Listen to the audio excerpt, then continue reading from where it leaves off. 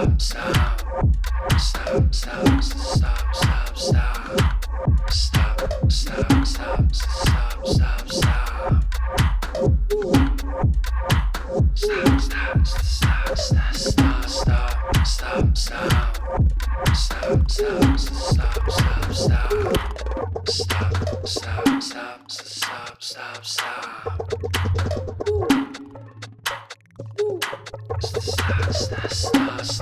江泽民去世，正值墙内举白纸抗议的时候。今天我们分享一篇被《纽约时报》的文章，题目叫《习近平的新难题：如何悼念江泽民》，发布于十二月一日。文章写道：中共领导人的去世总是充满政治戏剧的时刻，尤其是现在江泽民的去世就在此前，中国爆发了自一九八九年他出任中共总书记以来未曾有过的公开反抗浪潮。江泽民于周三去世，享年九十六岁。中国严厉专制的现任领导人习近平必须出面主持江泽民的悼念活动，同时他还要努力设法解决针对中国异常严苛的新冠清零措施的广泛抗议活动。有些抗议者已大胆地呼吁中国回到政治自由化的道路上去。在江泽民领导下的二十世纪九十年代，政治自由化似乎至少可以想象的，甚至可以公开讨论。随着中国努力应对不断上升的新冠病毒感染病例和经济增长放缓，习近平如何安排悼念活动，将是他在未来几周面临的又一个挑战。悼念活动既要表达对江泽民的敬意，同时也要防止让他变成反习的象征性棍棒。据中国官媒对习近平与来访的老挝领导人会晤的简短报道，习近平在周三表示：“我们沉痛悼念江泽民同志，将化悲痛为力量。”中共主要报纸《人民日报》网站的主页。变成了表示哀悼的黑白两色。虽然江泽民从未享有过胡耀邦曾享有的那种爱戴，但中共哀悼江泽民去世的方式有激起更多愤怒的可能。多伦多大学研究中国的政治学者王慧玲说，他提到的胡耀邦在一九八九年突然去世，引发了天安门广场的抗议运动，至少会给人们一个聚集和哀悼的正当理由。江泽民逝世的消息几乎立刻让中国人潮流般的涌到网上表示哀悼。不少人对江习两人进行了几乎不加掩饰、常常带有讽刺意味的比较。习近平的威权主义政策已将中国的审查制度和对意识形态的控制提升到了新的高度。中国社交媒体服务平台微博上的一条评论回忆了江泽民1998年拿着喇叭在大堤上动员人们抗洪的情景。评论写道：“当时的中国社会蓬勃向上，意气风发，唱着走进新时代。”另外的许多评论。并不这么热情洋溢。江泽民担任最高领导人期间，出于政治生存需要，也会采取过度和镇压做法，包括对被取缔的法轮功精神运动的追随者们。他也以自视过高和穿同样过高的裤腰而闻名。但中国人找到了很多愈加怀念江泽民的理由。在他从1989年到2004年担任中共中央总书记期间，中国从六四镇压后的政治冰冻期进入了令人头晕目眩。有时不顾一切，而且污染严重的多年经济增长阶段。那时候，虽然中共严格控制着政治生活，但也允许维权律师、商业新闻媒体、好斗的意见人士和有自由思想的中共学者公开辩论。这些少量的自由现已不复存在。哥，我们以前错怪你了，你是天花板，不是地板。一条评论写道，用的是江泽民在网上一个常见的绰号，取笑他的方正身材和大眼镜。另一条评论提到，一九九七年，他允许中国观众观看莱昂纳多·迪卡普里奥和凯特·温斯莱特在一部电影中的表演。片中的故事对当时来说相当有伤风化。永别了，一条悼念江泽民逝世的走红评论写道：“感谢您当年让我们都能看泰坦尼克号。”在江泽民去世后的几小时里，微博平台的审查员们迅速行动起来，对有关这条消息的评论进行限制。显然是为了防止相对无害的怀旧情绪变成对习近平和中共的尖锐批评，尤其是在几天的政治动荡之后，提泰坦尼克号的那条评论在获得了几万个点赞后被删除。胡耀邦死后变成了一名英雄烈士，他活着的时候根本没有那种名声。新西兰汉学家白杰明说，在今天的怀旧迷雾中，同样的事情也可能发生在江泽民身上。上周末，上海。北京、成都和中国其他城市都发生了有成百上千人参加的抗议活动，人们谴责严厉、扰民、费力的新冠清零政策，还有人借机呼吁民主改革、新闻自由，结束无处不在的审查，甚至要求习近平和中共下台。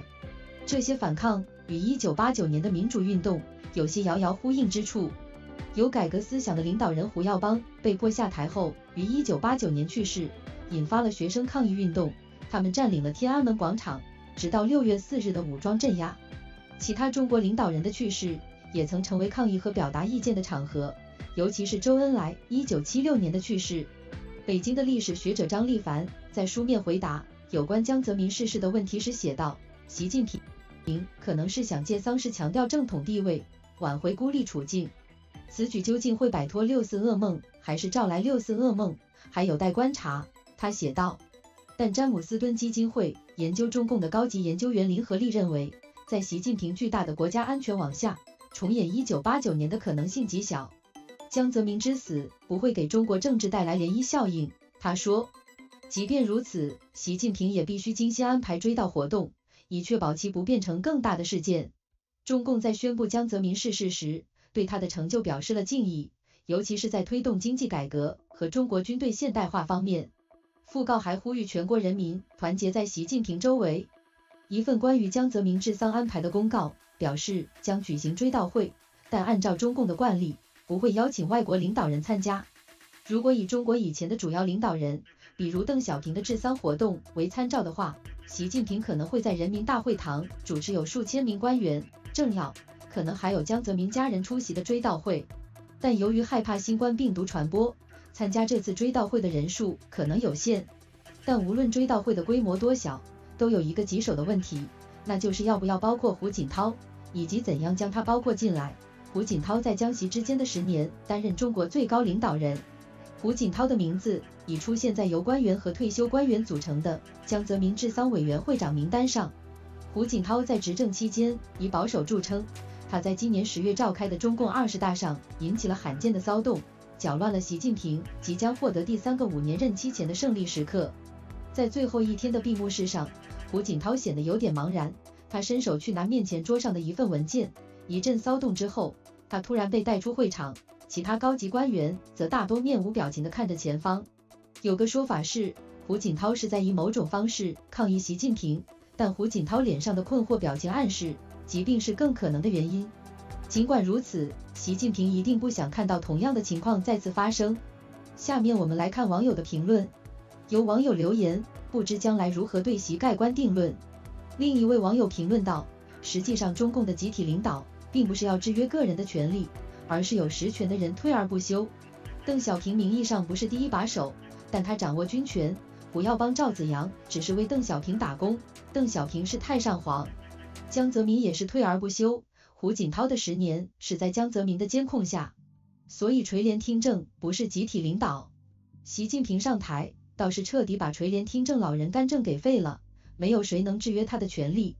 二十大江泽民不能出席，胡锦涛直接被习近平羞辱。中共集团就是这样邪恶，不管是个人独裁还是集体领导，都是独裁。没有反对党监督，没有多党竞选，那就是一个没有民主的国家。还有网友说，江泽民不是个东西，至少他还装一装。习胖连装都懒得装，直接把独裁者的本来面目赤裸裸的给世人看。有网友留言，希望小学生继续执政至少二十年。另一位网友评论道，国内方方面面。妥妥的一个封建社会，改良了一下又回去了。还有网友说，江泽民因为六四起家，任内贪污腐败登峰造极，整个官僚队伍无官不贪，社会以贪为荣，社会风气败坏，滥砍滥伐，随意竭泽而渔时开发。社会流行的段子反腐亡党，不反亡国，把共产党干部都抓起来枪毙，肯定有冤枉的；如果隔一个抓一个，肯定有落网的，还有国在山河破等等。这些人就是国之蛀虫，是国贼。有网友留言，今天很多微信群在议论一个话题，对逝者的评价要实事求是。